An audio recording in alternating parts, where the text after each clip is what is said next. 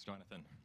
Uh, our first session, for our first session, we'll have two talks on uh, audiovisual topics. First talk will be Antonio Torralba, who is a professor of uh, electrical engineering and computer science at MIT, uh, the MIT director of the MIT IBM Watson AI Lab, and a lot of other impressive stuff that I will try to compress on the fly. Um, he has been editor of top journals and organizer of top conferences and won many awards. And today he will tell us about uh, learning to see and hear. Thank you, Antonio. Okay, thank you. So, do I have a microphone? Yeah. Okay, great. Let's see if this works.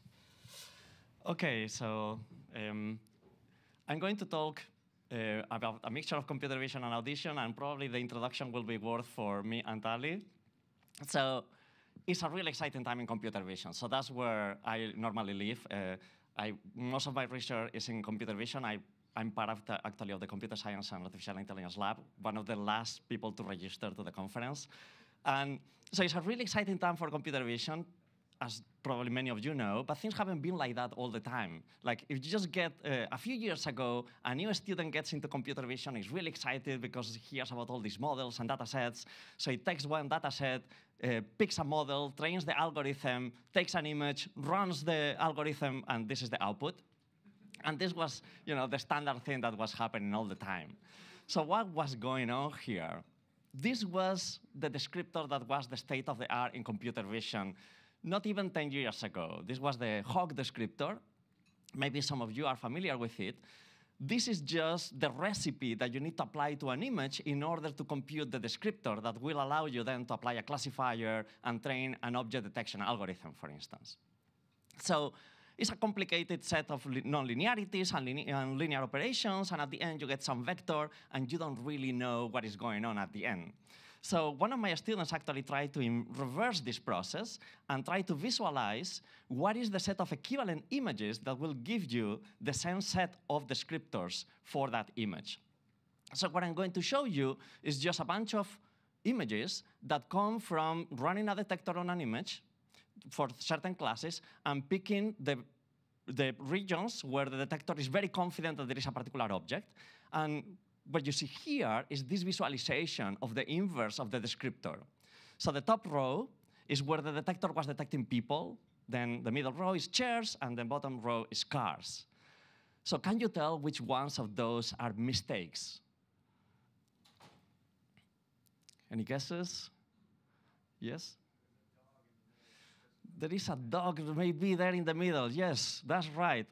In fact, they are all errors these are the actual images. And when you look at the, what the, the descriptor was seeing, you know, it looks pretty much like the object is looking for. No? Like the, you look at the first image in the top row, the one on the left, it looks like a person looking into a mirror. No? You can tell stories about what these people are doing. Or the last one, no, It's actually just the cow's the rear. So it was very frustrating, but it, there was really nothing we could do. So vision was really hard at the time. No? it still is. It's, it's, a very hard thing. So why is so hard? Well, you know, if you look at David Marr's book on vision, it explains you know, all the things that make vision very difficult. You try to interpret the scene from this live field of uh, lights hitting your, your eye. So it's a very interesting book. It's pretty old, but still, you know, many of the things about what makes vision hard were, are still very relevant. So one of the things that make vision really hard is the structure of ambient light. You know, if you think of a scene, and you think of the sun illuminating this scene, it's emitting light rays in all directions. Let's consider just one light ray for simplicity. That light ray goes into the scene, hits a surface, the spreads reflections in all directions. Each of those reflections hits other surfaces, and it, you know, it creates a mess.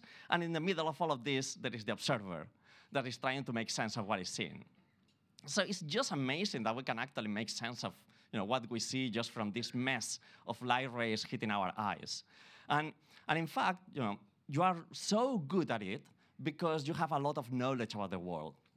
So probably some of you have seen this video. It's a very low resolution video that shows the power of your visual system. Now you're looking at this and you recognize everything that is going on, despite that some of the objects take like only one or two pixels worth of information.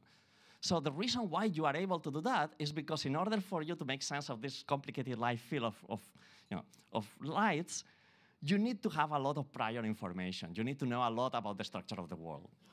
So if we look at the actual high resolution video, here it is. No, it shows exactly that you know, things were not really what you thought there were.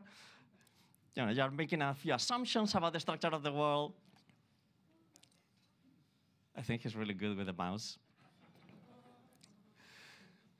But in fact, that you know, all that prior information is just what allows you to see images like this one and make sense of everything you see. There are, even when you have high resolution images, there are a lot of things going on in a picture, and you have to make all kinds of assumptions in order to see it. For instance, in this particular picture, have you noticed anything strange? Just raise your hand if you have seen something strange. No? Okay, maybe let's put it again. So just raise your hand if you see anything strange. Yep, yep. Don't say it. Just raise your hand. Okay, there is about 10 people that have seen something, maybe half of the room now. Okay, I'll do it again, but now pay attention to one of the buildings here, to the building in this side.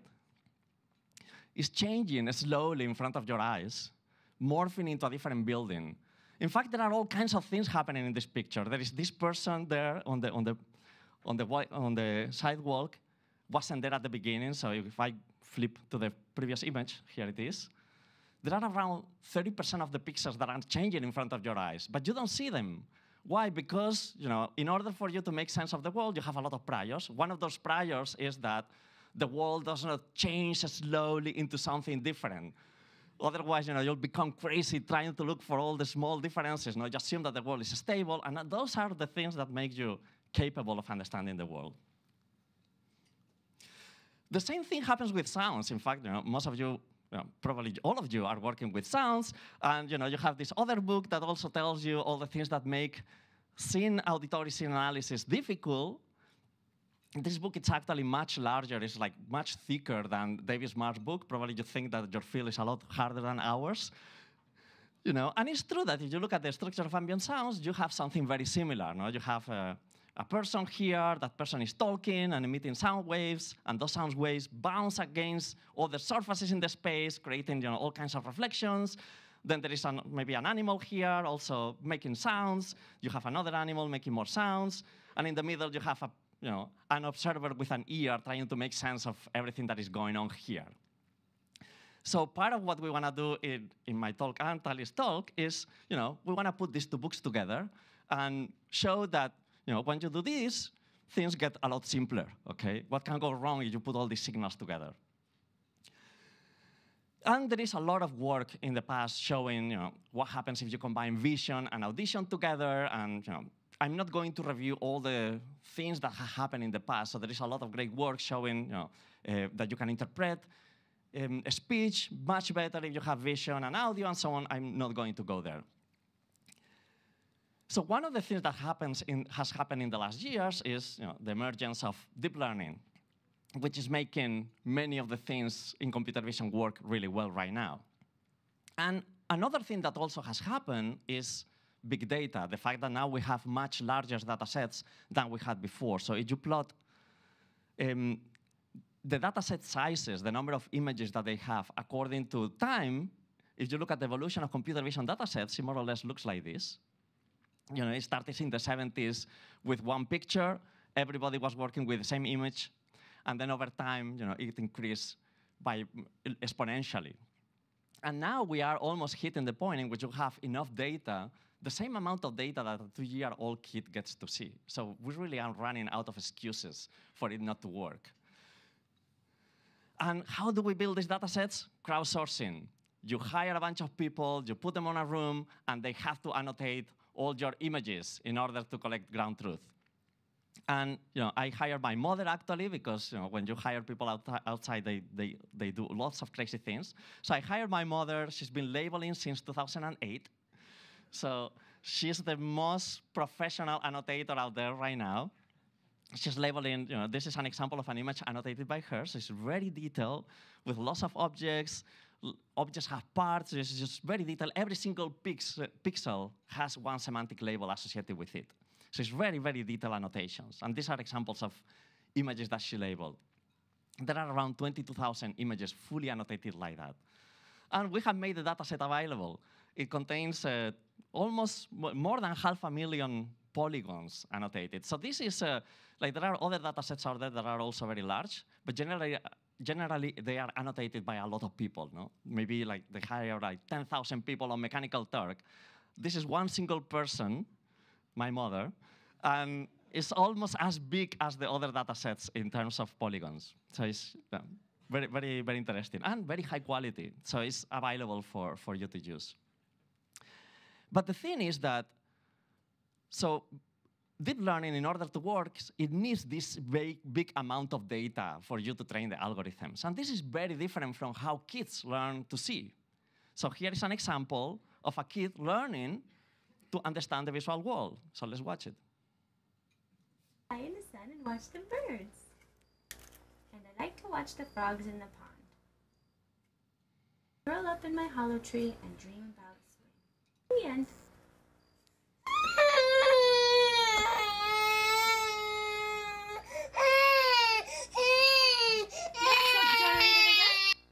So just like machines, they want to have a lot of data, and they don't like it if you stop giving them data. But what is really interesting here is that the supervision that the mother is given to this kid about what is the content of this visual book is given with another signal, that is the speech signal, which also the kid doesn't know how to interpret because it's a language that the kid wasn't born knowing. So the supervision is encoded in some weird way, and what is seen is also encoded in some other weird way, and it has to make sense of both things together. So it's a very interesting learning setting.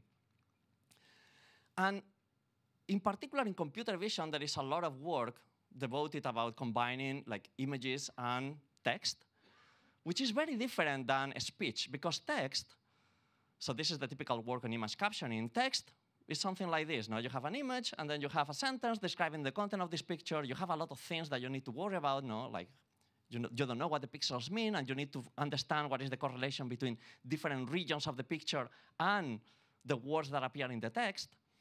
But still, no, the words are cut for you. The word table will always appear in the same way, so there is no noise in your observation. These are not citizens, you know, with the same, with the same level of, of complexity. The image is really complex, the text, you know, it has all the complexity of semantics, but the signal itself is very simple. So our task here was, can we use speech instead of captions, and can we discover objects and words from a speech signal? So the input is raw pixels, and also raw audio, and this will be like sentences describing what the content of the image is, and the goal is to discover both words in the speech and pixels in the, and regions and objects in the image. So this is work done in collaboration with David Harwath and Jim Glass. David, this is his thesis, so most of the things that I will be talking in this first part are, are his work, and he's somewhere sitting in the room, and you can ask him more questions if you want to know more. So one of the first things that we did was to collect data describing images. So crowdsourcing again, you put in Mechanical Turk a bunch of images, and you just ask people to describe the content of the images. So here is an example of one of those data points that we use for training. So you'll hear just the description given by a person in Mechanical Turk about the content of this picture. Oops. This is a photo of a girl standing in front of a lighthouse. The little girl is wearing a blueprint dress. She has blonde hair and blue eyes. The lighthouse in the background is white with a red roof. So there are, you know, it's a complicated sentence describing the content of the picture. Some of the words refer to the visual content, some others don't. And you need to understand all of those things. Here is a different caption. This picture is of two cupcakes against a pink background and on a plate. The cupcakes have frosting and cream swirled on top of them. The cupcakes are brown. You know, different speakers and different ways of talking, and you have to deal with all that variability. So now the speech signal and the image are, they have the same degree of complexity. So this is how David solved this problem. We defined, we, we built an architecture that uh, has two pathways, one that is going to process images and another that is going to process the speech signal. For images, we use a standard uh, vision architecture. This is, a, for those that you know, this is VGGNet. What it does is just, it takes the input image and it passes through a series of convolutions and nonlinearities until it outputs a tensor that has 14 times 14 spatial locations. So it's like taking this image and dividing it in 14 by 14 windows. It's not exactly like that, but more or less. And then at each window, it computes a descriptor that has 1,024 dimensions. So that's what this network is going to do. Then there is another pathway that is going to take the speech signal as input. The first thing that it does is transforms the speech into a spectrogram. This step maybe is not totally necessary, but when we started here, you know, and working with a speech signal is very hard not to, to working with speech um, researchers is very hard not to use the spectrogram at some point. So you know, the first thing that you do is compute a spectrogram, and then it's an image. So you do the same thing. You have a series of convolutions and nonlinearities, and at the end, you represent that spectrogram as a, as a matrix that is going to be like 128 times 1024. 128 is like dividing your speech signal into 128 windows, not exactly like that, but more or less. And each window will be described by a 124 dimensional vector. And now you put the two things together. So one of the important things is that before we train the system, this system doesn't know anything about the speech or about vision. So all the, all the weights that are defining these, um, these networks are initialized at random. So the system really doesn't know how to process objects or how to process a speech signal. So now you take these two signals, and you just do a tensor product. What it's going to do is going to do the product between these two matrices and sum over the descriptor. So it's going to be a sum over 1,024 dimensions. Basically, what it's going to do is we'll compress this into a single array that will have 14 times 14 dimensions for the image and 128 for the temporal dimension. So if the system worked, if it was trained already and it knew what words are and what objects are, what we will expect is that so this basically is saying that for each location and each temporal window, it will compute the correlation between the descriptors in the image domain and the speech domain.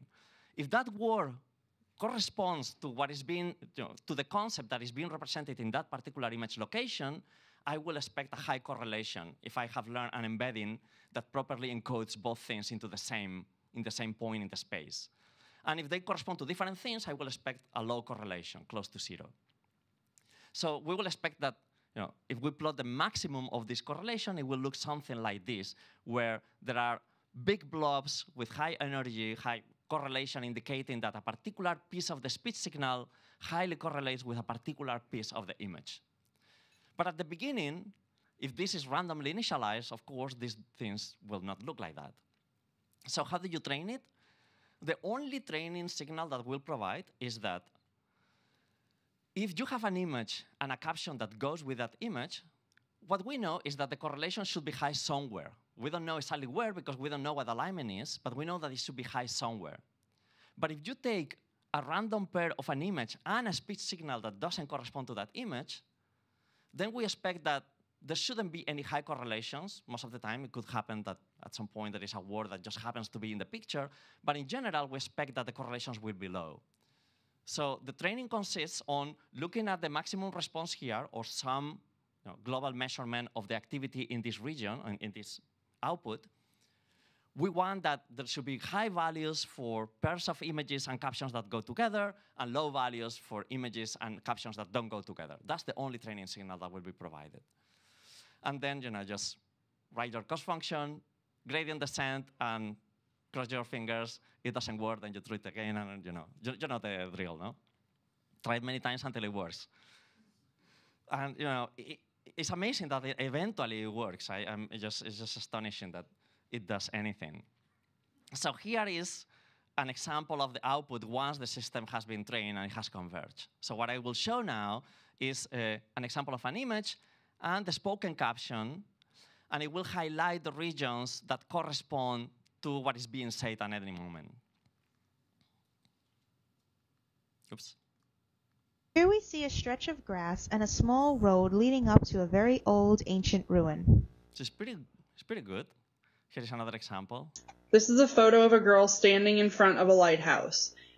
The little girl is wearing a blueprint dress. She has blonde hair and blue eyes. The lighthouse in the background is white with a red roof. Yeah, it's pretty cool. It's not perfect. There are some words that were not located, like when it's talking about the blue eyes or you know, uh, the blonde hair. But most of the time, it's picking up like big, some of the big objects, and it seems to know what they are. Here in this picture, there's some skiers going up a mountain.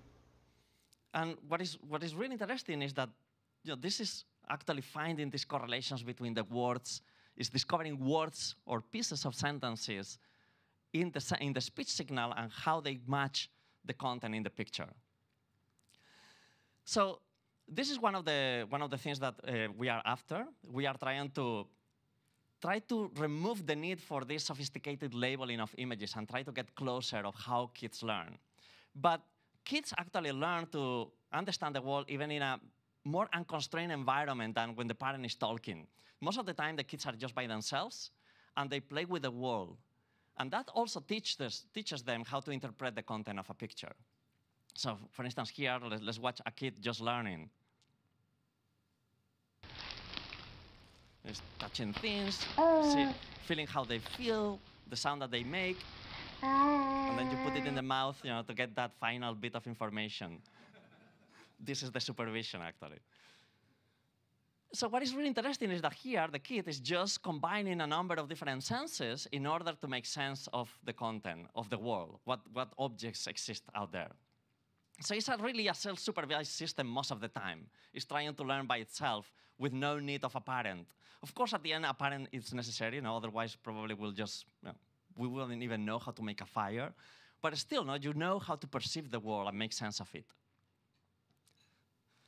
So in particular, you learn things about materials, know how hard something is, soft. Uh, you can learn properties of the different materials that you, that you touch by combining how they feel, how they sound, and so on. Oops. Oop. Here. Okay, so this is, um, this is our version of a one-year-old kid. Uh, this is Andrew Owens. Uh, he was doing the, a PhD thesis um, with, uh, with me and Bill Freeman. And in his thesis, he tried to combine audition and vision. And in order to make the problem very simple, instead of grabbing things and making them sound, he went with a drumstick and started hitting things in the wall just to make the interaction as simple as possible because we didn't really knew if it was going to work at all. So we just wanted to simplify everything as much as we could. And this is work done in collaboration with uh, uh, Andrew, where he's the one that actually did most of it, and Jiajun, and then Josh McDermott, that is probably around there, and Bill Freeman, who works uh, here with you, and me. So here is the data set that he, Andrew, collected. So he just went around and started hitting everything for around two months. Uh, you know, he entered our office and just started hitting stuff. Yeah, and, and so he called this the greatest hits dataset. And it consists of, of around 46,000 hits and scratches of different materials. So this is a lot of hitting. And the drumstick is fine, by the way. So all the data is available for you to use. So here is how we decided to use this. So we wanted to define a system that will learn by itself. And in this case, we define a self-supervised system with the following task. The input is just the visual content, just the images. And we train a system to predict what is the sound that you should hear with that particular sequence of inputs. And the motivation here is that if you are able to go from the visual input to the actual sound that you should hear, it means that the system itself has learned something about material properties and so on, because otherwise you know, the sound wouldn't really correspond. So here is how uh, we build this system.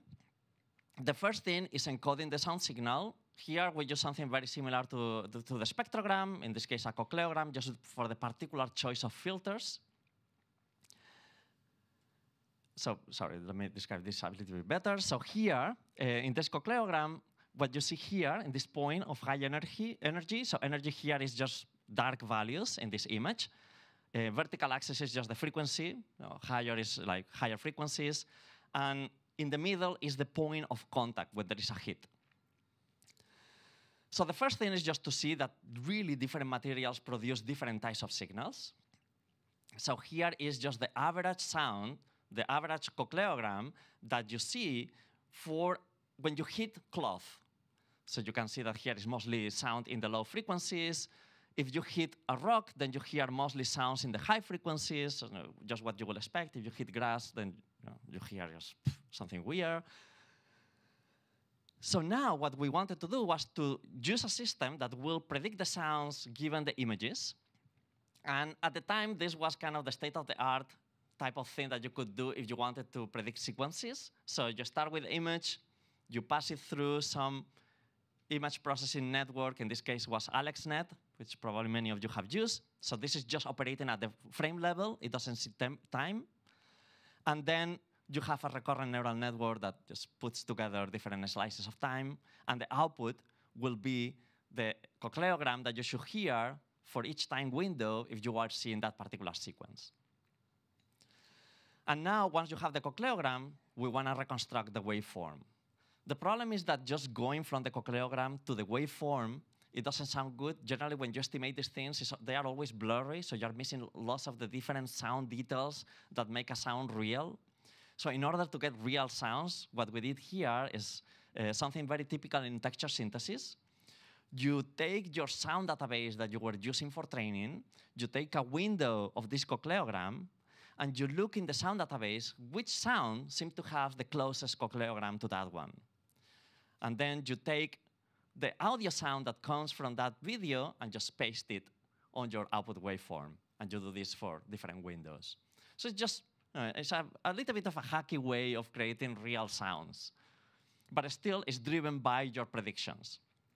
So what I will play now is you will see a video, and what you will hear is the predicted sound. It's not the actual sound that came from the video.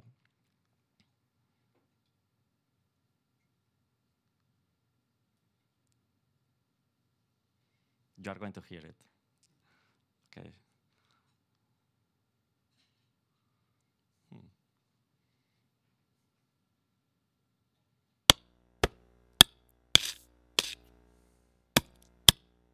So it's not perfect, but you know, it, it you, you, can hear the sound when there is a collision. The system actually didn't learn, we didn't actually provide the training data with aligned precision on when there is a hit. The system has to learn that a collision is the moment where you hear a sound. So that's actually something that is learned by the system. It makes the distinction between a hit and a scratch. You know, sometimes it misses things. And it's useful to actually know where the sounds are coming from. So what we'll show now is the actual, you know, the output that you just hear, and the pieces where that audio is coming from. So the small video here just shows the original video that contains the sound that you actually hear.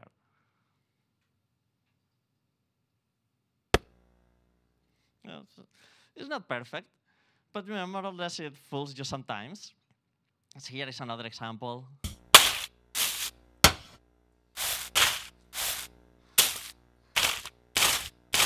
Okay, this is horrible. Uh, and the problem here is just that this, you know, we recorded this in Boston. Water is mostly solid, so the system wasn't really trained with this. And you know, as soon as you have something out of sample, it just it doesn't work very well. But still, you know, it, it, it does something. Another really cool thing is that then Andrew tried what happens if you use other actions. So all the system is trained with the drumstick hitting things. But what happens is in, if instead of a drumstick, there is something else hitting the space. What do you hear?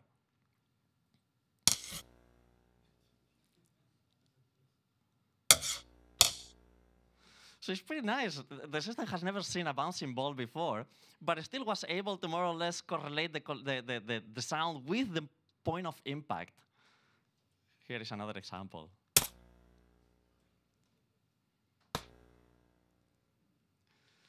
So it, it, it's amazing no, how well it's able to generalize to something totally different.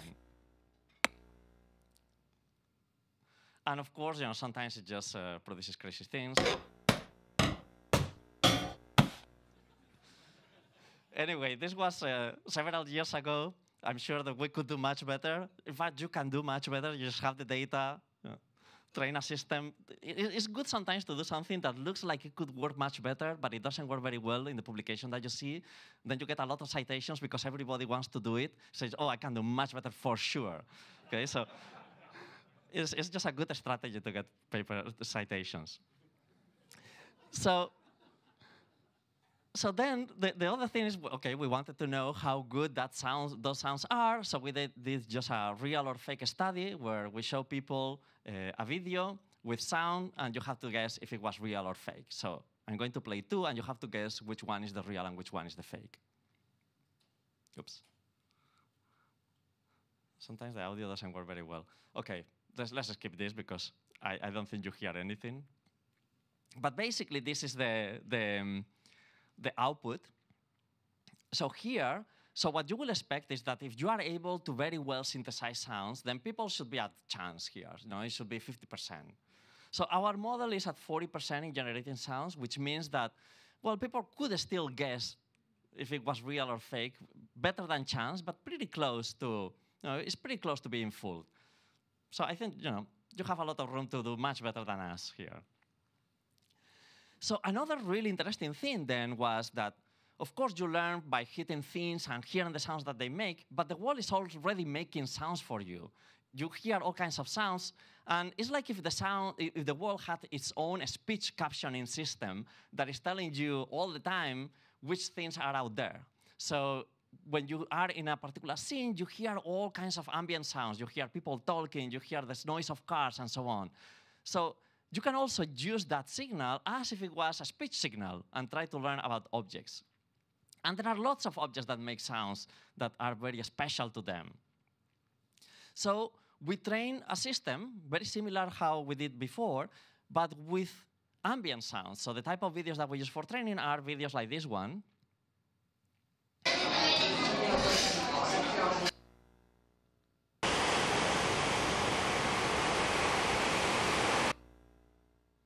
And we use the same task. The goal is to have a system that takes as input the visual video, the visual frames, and try to predict the sounds that you should hear if you were in that scene. And the idea is that if you are able to do this, the only way that you can predict what you should hear is if you are able to understand which objects are in the world. Now, if you, if you want to predict that you should hear the noise of a car, it means that somehow you have to be able to detect a car in the picture, otherwise how the system will be able to successfully make that prediction. So it's a way of suddenly having a system discover high-level concepts from the picture. So this is going to be much more higher level than the previous one where everything was about the materials that you are hitting. This will be about the objects that you see in the world. So um, we use a very similar architecture. In this case, actually, we didn't even use video to train. It's just a single frame, and from the frame, you should predict what is the audio that you should hear if you were in that particular scene. So you don't get to see even which, to see which things are moving. You really need to get at the semantics of the picture. So what is really interesting is what did the network learn when it was trained to solve this task? And you can actually see what the network learns by looking inside the network, like a neuroscientist, probing what different units in the network have, been, have become sensitive to. And so things that we discovered is that there were units that become sensitive to people. So these are, for instance, one of the units in the last convolutional layers um, in AlexNet before the, no the, fully connected layers.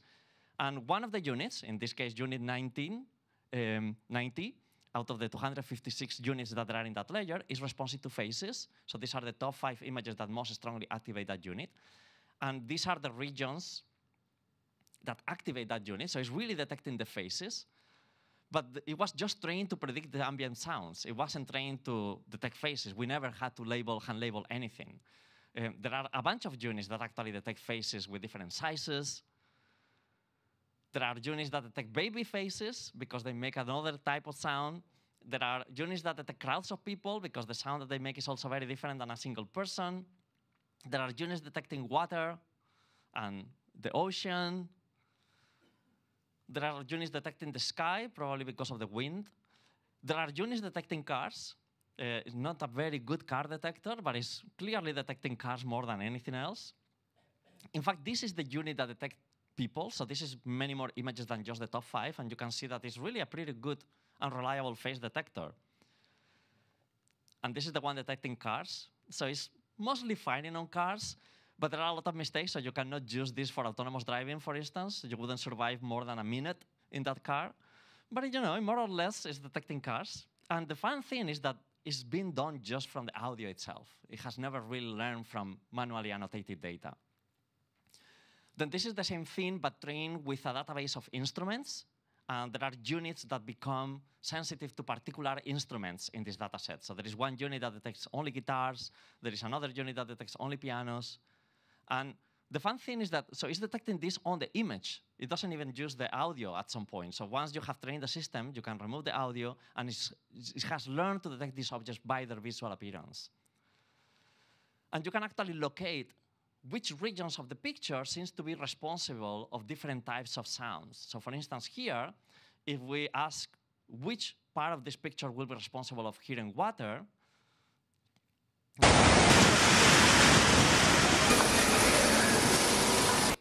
these regions will produce that type of sounds, or here, this region.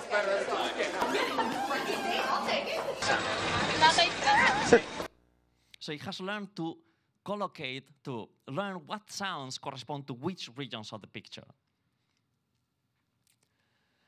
So, so the interesting thing is, so here we are really interested in using the audio to discover objects in the world our goal is not to, uh, to understand the audio signal like in signal processing way, but really to try to understand what is the content of the world and to discover objects in an unsupervised way. So now we can do things like, uh, you know, you have a, um, a video like this one, we want to be able to tell you know, that there are a number of pixels here that are the ones that seem to be making the sound. This is where the sound is coming from that there are two different objects that make two different types of sounds. But then what you really want also is you want to be able to also, so it seems like we are very close here to solving this, to, to addressing this problem of uh, source separation, and it's something that Tali is going to talk a lot more, so I, not go, I will not go much into details here. But what we've done is we built a system that allows you to click on a pixel, and be able to listen what is the sound wave that is coming just from that single pixel. So the input is mono audio. It, it, contains the combination of all the sounds. But by training jointly vision and audio, we can actually separate which particulars of the audio signal come from which parts of the visual signal. But what is interesting is that we do this in an unsupervised way. The supervision, there is no supervision, there is no ground truth. We just feed to the system with lots of videos where there are mixtures of sounds Sometimes you hear mixtures, sometimes you don't hear mixtures, and the system has to figure out which objects exist on the world, what visual categories are there, what audio categories are there, and how they go together, and how do you tell, how do you extract one signal from, from this mixture. So given a video with an input audio, you, you do this, you, know, you, you have this system that will do the audio-visual sound source separation and localization, but what is interesting is that this system will be learned in an unsupervised way. And then you can click on different pixels and you should hear what is the sound wave coming from any pixel that you click. So that you know all the sound waves, if you sum them up, it should be more or less equal to the input. And then the different components should really sound like the object that you have there. So here is an example of how it works. So you click in this pixel,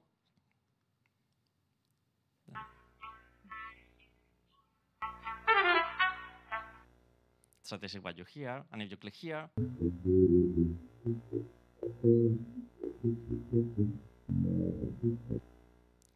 and if you click here, then you don't hear anything because it knows that that pixel is not making any sounds.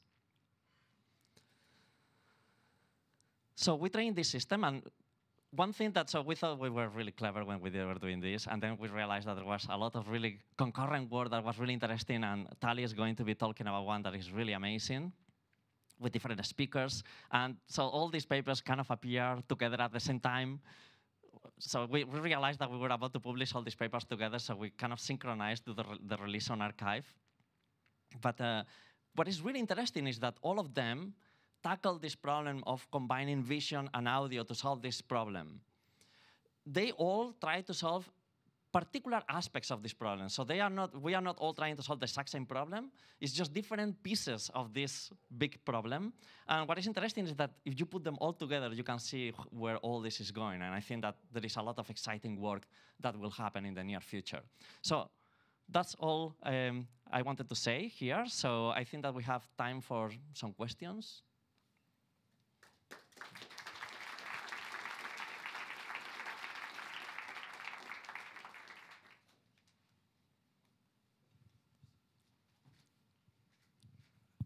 There are microphones in the aisles for anybody who has questions. Thanks, that was excellent. Um, so one thing that I'm curious about, so your everything is with 2D images and monaural audio recordings. Do you see any benefits of going to 3D? So training with 3D models and maybe learning instead of pixels on an image, learning a location in space or learning a room impulse response or some some wider dimensional description of what's going on both visually and auditorily. Yeah, yeah, that, that, that would be great. Yes, I think that would be very interesting. And I, in fact, there, is, there are several efforts going in that direction. Like Josh McDermott is doing a lot of work in like doing audiovisual simulation with 3D so that you, know, you can get that type of signals. Sometimes for us, one of the problems in, in our case is that all my students are computer vision people. So as soon as you put them, um, you hand them a microphone, they don't know what to do with it. Um, it just makes some of these things really, really hard. So this is why these collaborations uh, across different fields are so interesting. But I, I, totally agree that will be great, and I think that there will be a lot more things that we could do. But we just haven't get, gotten there yet, yes. Uh, so you mentioned in your talk, oh, you know, this uh, could be used as a, a, car detector, but it's not a very good one. I'm wondering, are there tasks um, where, uh, like, this is um, currently sort of the best way to solve a problem, or what tasks do you see as be having the most potential for this helping? Yes, so for instance, in computer vision, there is a lot of interest now in, in reducing the amount of label data that you need in order to train a system. So many people are interested in seeing if you have, you can build unsupervised tasks that will give you generic descriptors that then you can use to learn with little supervision to solve a particular task. So that type of unsupervised learning uh, can be done in many different ways. This is one example of how we can do that unsupervised learning. And for these transfer learning techniques, where you can then you know, initialize your network with this particular task and then you fine tune it to something else, when that paper was published, this was the state of the art there. But you know, the state of the art in computer vision changes every week. So it became, you know, by the time we published the paper, it wasn't the state of the art anymore. But that's an example of a task where this type of training has a lot of benefits also in computer vision.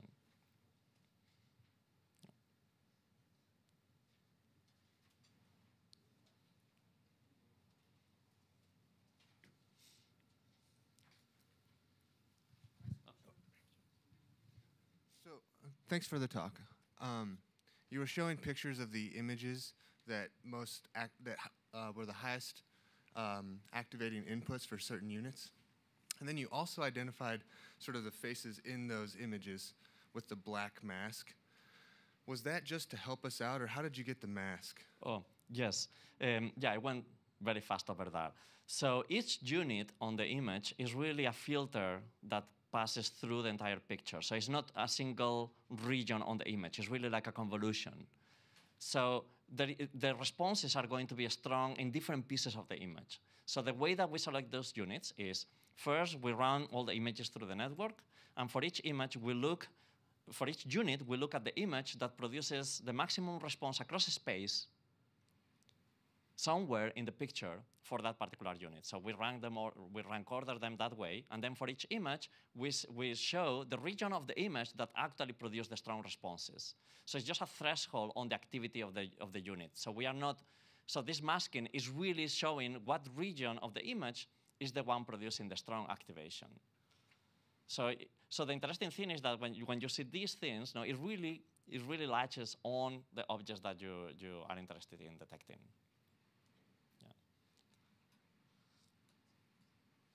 Okay. All right, let's thank Antonio one more time.